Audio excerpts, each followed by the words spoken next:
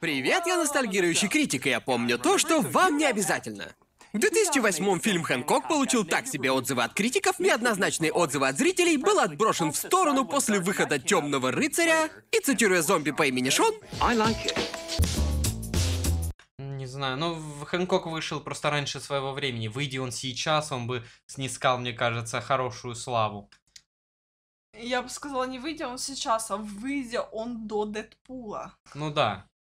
Потому что он такой антигерой, стебный, с шуточками черными. С интересной сайд-историей.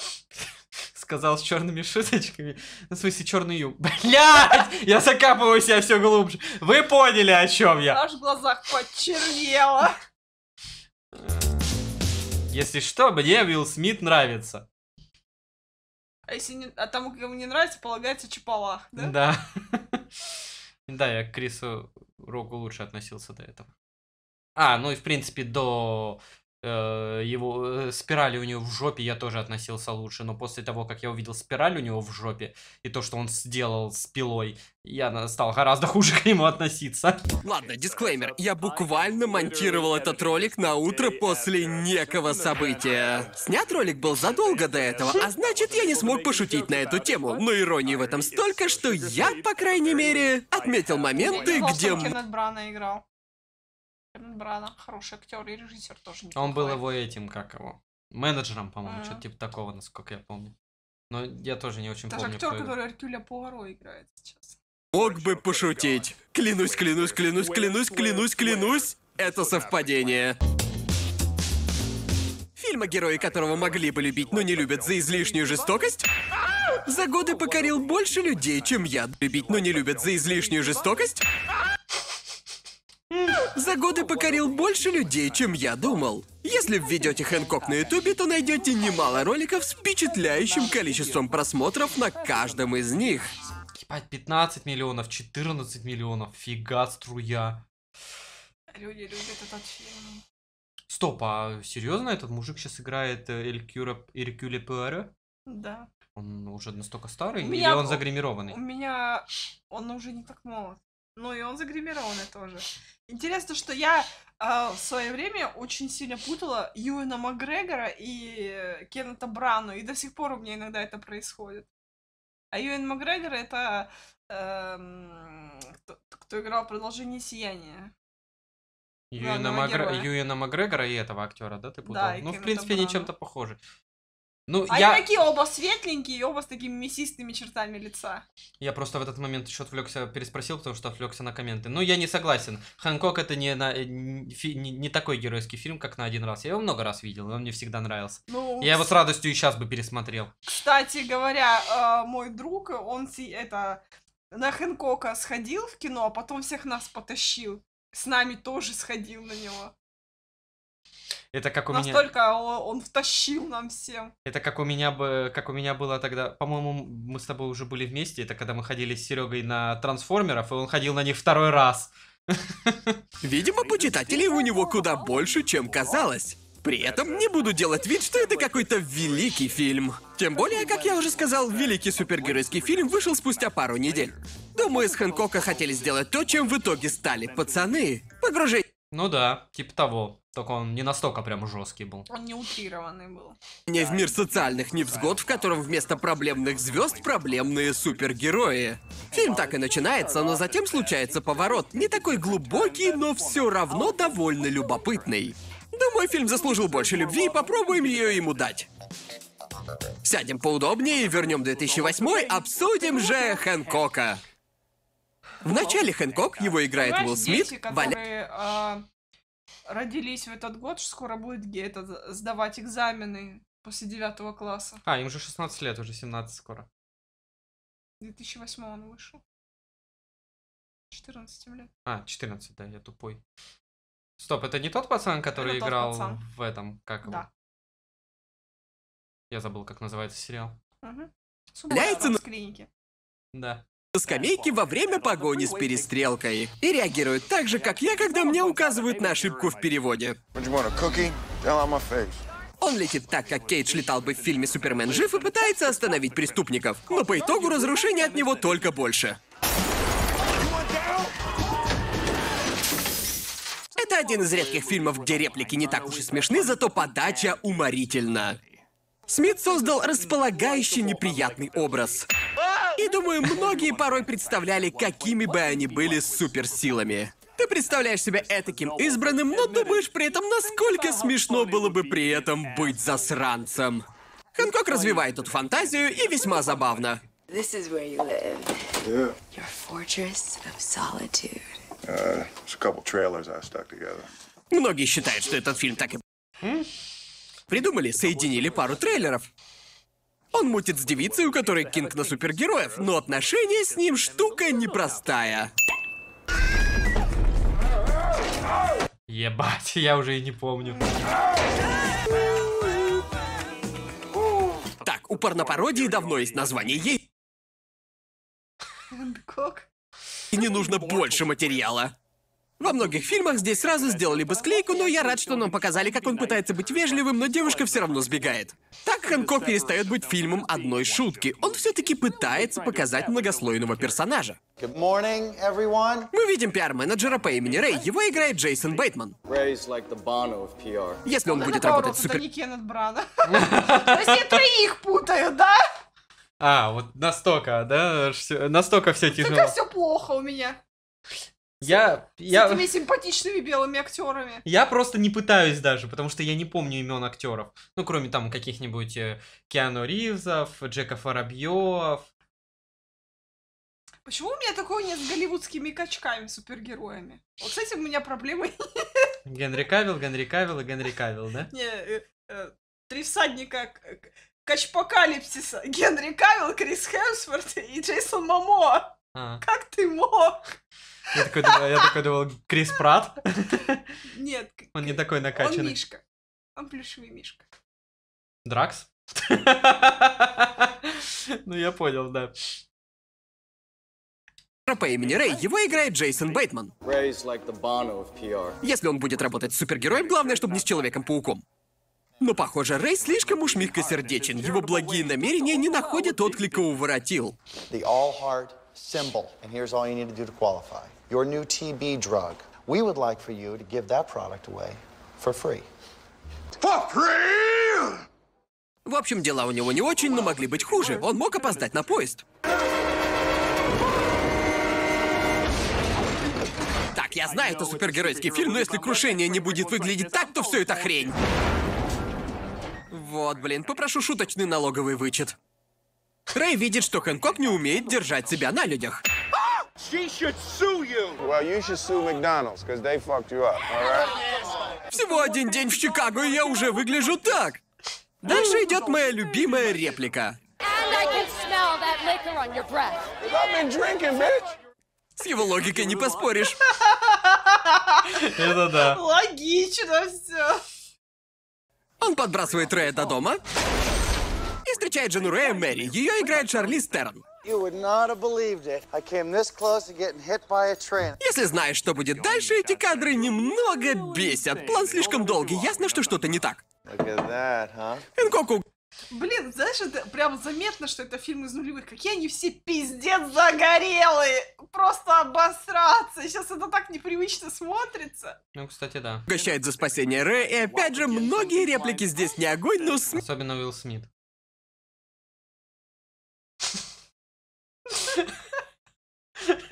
Ты скотина. Что, в глазах потемнело?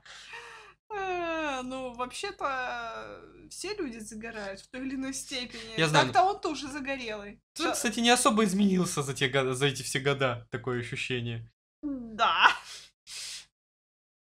Смит умеет с ними работать. Это очень тупо, но все, кто при мне это видел, хихикали. В части фильма ты забываешь, что камера долго вертелась вокруг Мэри, ведь позже она показывает, что ей плевать на Хэнкока. В моменте это логично, но позже еще логичнее.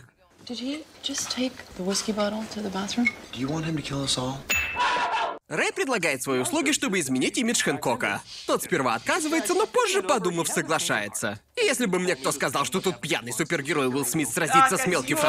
Да, да, да. До сих пор помню, понимаешь, этого пиздюка. Скозьёль. Ну давай, ну давай, скажи это еще раз. Это, что еще хотел сказать? Блин, а ведь э, в «Бе- Бессмертной гвардии фактически да, такого же персонажа э, Шарлиз Терон сыграла. Козьёля? Не, в смысле, как в этом фильме она играла. Супер женщину? Да. Ну, типа того, ну типа нет. Вечную, очень сильную женщину. Ну тут она, конечно, в этом, в этом фильме она сильнее. И загорели. Да. Французским Майклом Майерсом я бы ответил «Заткнись и возьми эти мемные деньги». You're gonna stop calling me that. Asshole. That's not my name. Asshole. А, он его это ослиной дыркой назвал. Ой, жопной дыркой. Да. Ж- ж- Засырьянец. Ай. Айсхоль. Ну, у- а у нас это козьёль. Э, Мгм. По-моему, отлично к этого ли. Если вы видели французов в любых американских фильмах, вы в курсе, что будет дальше. Call me an asshole one more time.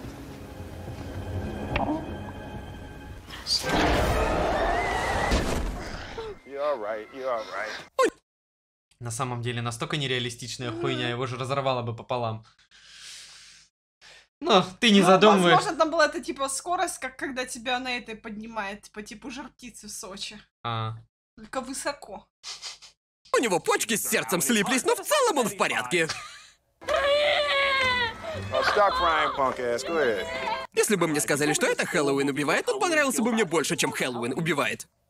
Рэй показывает ему варианты образов в сцене, на которую сегодня бы Смит не согласился. Homo.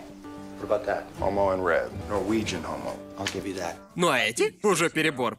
Затем Рэй предлагает Хэнкоку сесть в тюрьму за причиненный ущерб, чтобы доказать, что мир в нем нуждается. I apologize to the people of Los Angeles.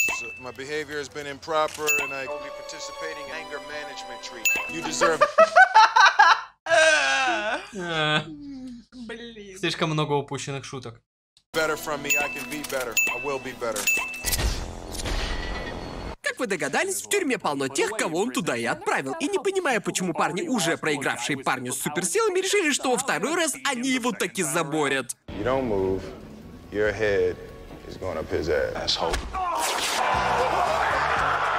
К этой шутке отношение сложное, ведь в трейлере показали только реакцию. You don't move.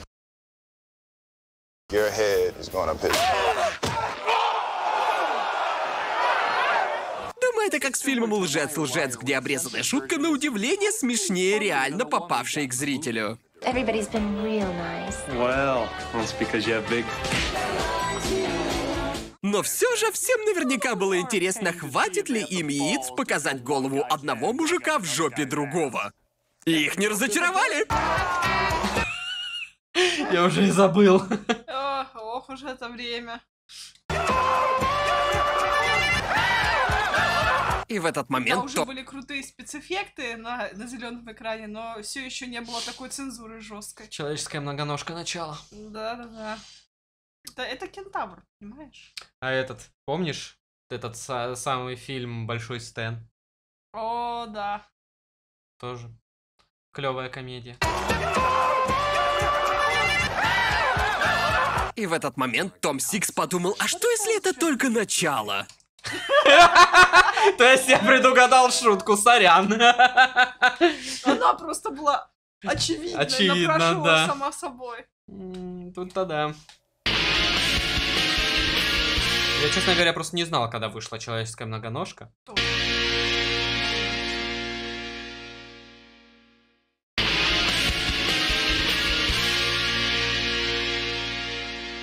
Какое-то время Рэй учит Хэнкока быть более крутым героем, а тот еще ходит на групповую терапию, где, раз это кино, должно быть капец темно с минимумом освещения. Кто замечал это странное клише? Группа поддерживает его. Тем временем уровень преступности растет, но Хэнкок еще торчит в камере, рисуя очень конкретные символы.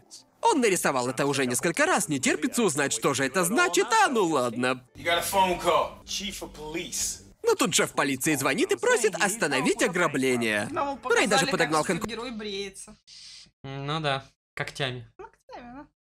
капец какой унылый костюм ради такого дела.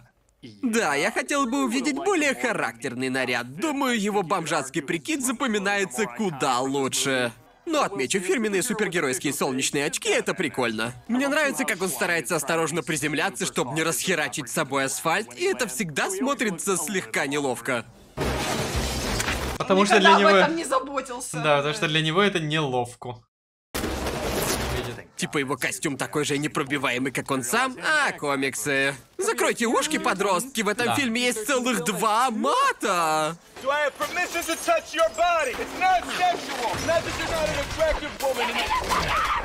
Смит Да, я помню, это такой, типа, максимально тактично. Заебал, вытащи меня отсюда. весьма удивлен, что это Просто вдруг я, не он. я упустила панч для шутки насчет его приземления. Не все же приземляются, как Наташа Романов. Ну да. Блин, а я уже представил Смита в этом. Агента Смита. Ну, это... Э, Лена же попробовала, ей понравилось. Что-то в этом есть.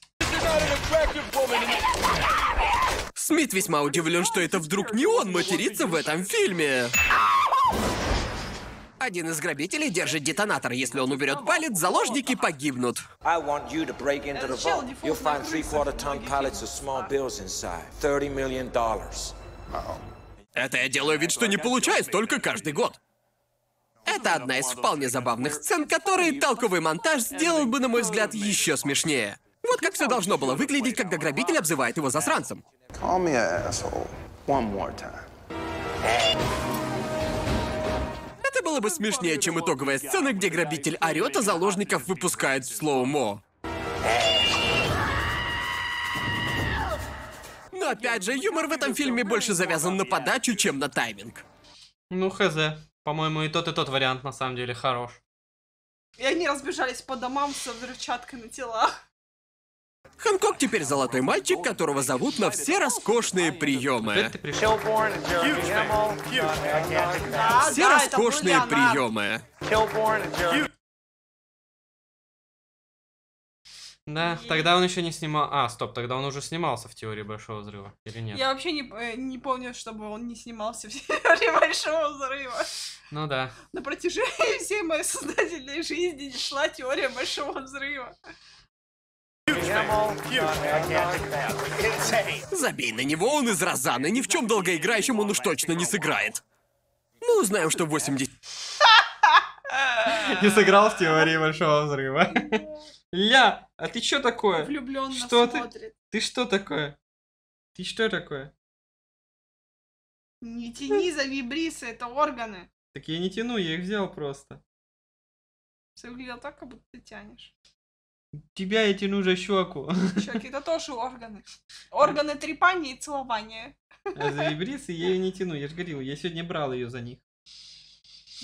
Звучит страшно. Брал за вибрисы. 10 лет назад у Хэнкока случилась амнезия, а очнулся он уже с суперсилами. Сойдет, а появление Энакина мы знаем еще меньше. What kind of bastard must I have been that nobody was there to claim me? Да, признаю, мне стоило к этому моменту понять, что Хэнкок и Мэри как-то связаны, но скажу честно, вот эта сцена застала меня врасплох.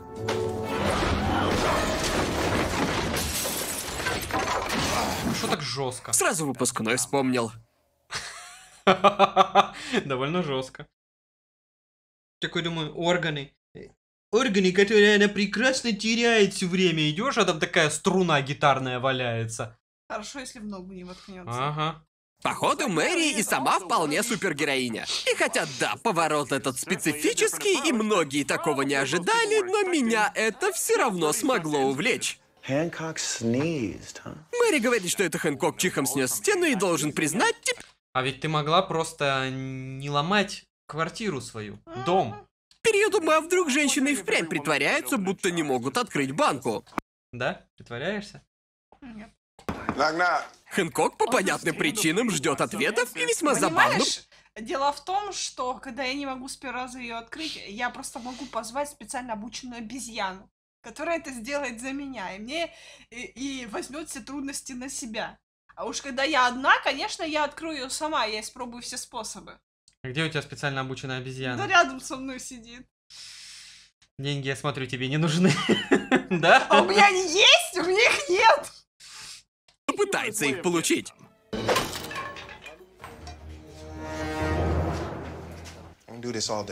Я благодарю Капитана Америку за то, что тот испортил мой любимый вопрос викторины. Они встречаются у него, Мэри соглашается ответить на вопрос, если Хэнкок после согласится покинуть Лос-Анджелес. Gods, angels, different cultures call us by different names. Now all of a sudden it's superhero. Жду не дождусь сиквела, где он сразится с Супер Иисусом. Мэри признает, что они последние в своем роде, но, похоже, все же утаивает часть правды. Who are we to each other? We're brother and sister. That's a lie. I'm your That is sister. a lie. Это Sisters don't kiss очевидно. brothers. The way you kissed me last night. Ладно, оставляю тот ко- Очень очевидно.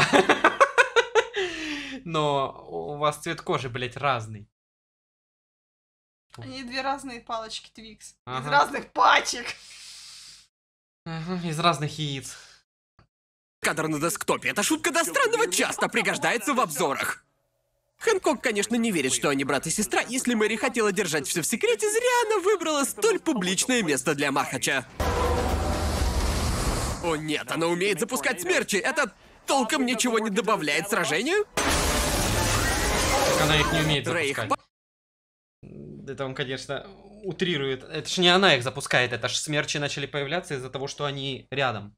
Да. Они ж там, когда рядом, по-моему, у них появляется пиздец, если не ошибаюсь. Да-да-да. И они слабеют вроде. И у них, у них типа вселенская любовь, но их отношения приводят к пиздецу. Ну да, и я же говорю, и они оба слабеют и становятся уязвимыми. По-моему, так. А? Но могу ошибаться. Палит и Мэри приходится признаться. Why are we flying? I'm very strong. Technically speaking, he's my husband. Это все трудно принять, но ответь мне на один вопрос. Ты могла открыть эту хреновую банку? Мэри говорит, что героев создавали в паре, и они всегда тянулись друг к другу. Куда бы ни пошел один, другой всегда где-то рядом. Как по мне, это весьма крутая концепция, особенно для сюжета о супергероях. Хэнкок идет в магазин и платит деньгами из несуществующей зарплаты за бухло. И кассир находит весьма хитрый способ сообщить об ограблении. О боже, какие скидки! Как можно не любить фильм, в котором батончик загнат сильнее пушки? A Zagnut bar versus your guy. Он расплавит твой зад. Знаешь, Теперь что это слово... в кассе могло быть меньше денег, чем разрешение, на которое принес Хэнкок. Но это э, еще раз подчеркивается нам абсурдность э, ну, существования супергероев и их сил. Угу. Логан загнат. Но пуля внезапно ранит его, и выясняется, что чем больше времени они с Мэри проводят вместе, тем слабее становится. Опять же, тонкая мысль. Они друг другу разом и сила, и криптонит.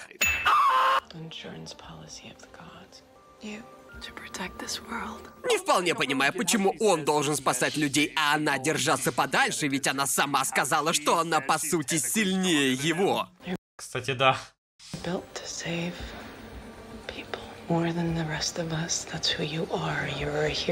Я бы занялась этим, но я люблю медицинский детектив. У него сейчас свой канал есть, так что мне некогда. Но это манипуляция по типу, я не буду этого делать, ну, потому что вот такой вот я. А вот ты хороший, вот ты это можешь. Пизду делай. Ну, как бы, да. Нет бы просто сказать. Мне это в хуй не впилось. Я не хочу. По-честному, да. Every time we're together, they come after you through me. Еще она притягивает проблемы, ведь когда они вместе начинают терять силы, это он каждый раз спасает ее. 4 BC, they came after me with swords. You saved me. 1850, they set our house on fire. You pulled me out of the flames. Она говорит, что на нее нападает, чтобы добраться до него, что опять-таки странно, ведь в ней больше силы, на нее бы нападать. А, все-таки, видимо, она ураганы делает. Действительно, а смысл был в этом? Эпичность? ради нее самой. Возможно, я что-то упускаю, но меня это как-то путает. Ну, потому что они криво пытались все равно прийти к клише девушки в беде, вот и все. Тут весьма достойная, и даже при нехватке деталей скажу прямо, по мне так это более... в фильмах того времени супергероиня какая-то или супершпионка, но в итоге а, мужчина ГГ все равно ее спасает. Да. Какую-нибудь какую условную электру в сорви голове, например. Ну да. Бедный ребенок. У нас у, у- у кошки перхоть. У кота тоже, но у кошки сильнее. Опять началось. Игра тут весьма достойная, и даже при нехватке деталей скажу прямо, по мне так это более интересный фильм о вечных, чем фильм «Вечные». Но как и в вечных злодеи тут отстой. И угрозой они становятся тут только в последние 15 минут. Помните грабителя, потерявшего руку и заключенных косплеящих Лего? Они хотят вместе убить Хэнкока. Эти злодеи тянут скорее на Блэнкмана. Мэри ослабла, а Хэнкок снова окреп. Да, согласен, кульминация тут так себе. Но Хэнкок привык защищать своих близких. И понимает, что чтобы спасти Мэри, ему нужно быть как можно дальше. Мне нравится, как Рэй видит, что его жена по сути умирает и реагирует типа... «Э, таких пучок за пяток. Да и старовата она для меня, если подумать. Ну, Он просто растерянность показывает. Да. Э, Как бы... Вполне, вполне могло быть так. Он же не должен был сразу броситься на пол, начать плакать и это. Он просто подошел такой, что делать? Хэнкок улетает, Мэри оправляется, и месяц спустя супруги шутят о бессмертии, как будто они, скажем честно, в фильме с Уиллом Смитом.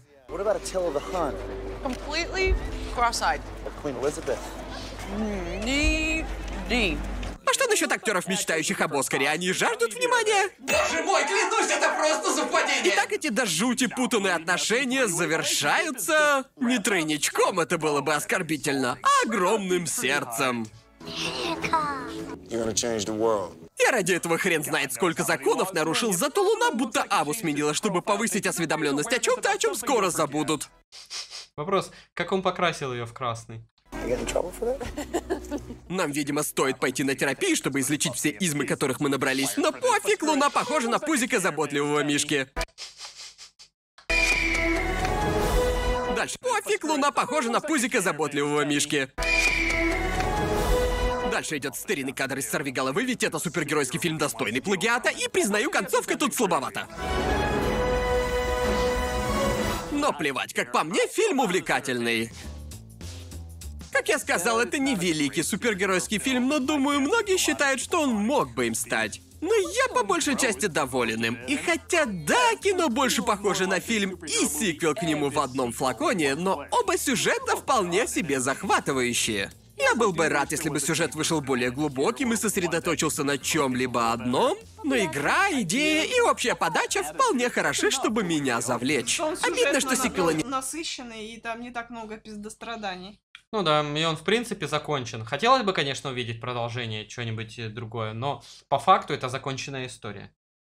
Случилось, ведь об этом герое я бы хотел узнать побольше. Можно было Сейчас, погрузиться в фильм только раскачивается, чтобы де- делать как минимум трилогию.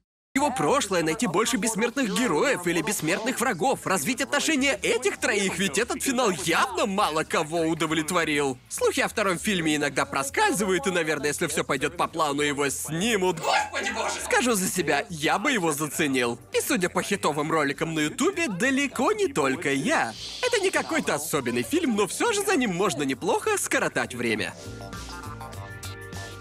Я ностальгирующий критик, и я помню то, сына не берите.